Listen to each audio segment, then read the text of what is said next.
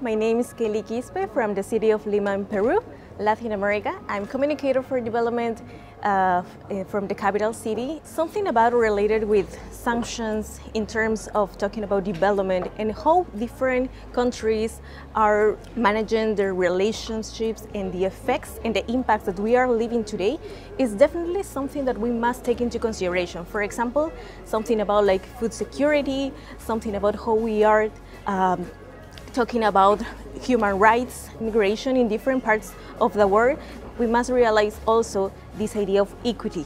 Equity because um, we can also sanction one country for one or two things if there are other countries that are making the same things and we are not uh, working in this idea of a peaceful and more security and more security world. So I think that in this kind of scenario, youth role uh, different actors must take into consideration, must realize, and must um, work really, really, really raise this idea of powerful but also synergy to understand what is the effect of this kind of, of actions, with this kind of activities, but also what are um, the role of specific social actors in the case of the Agenda 2030 and the Agenda of Sustainability too.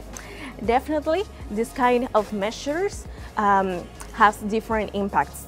However, we must um, take into account what are the cases, what are the causes, what are the effects also in, in other parts of, of the world too.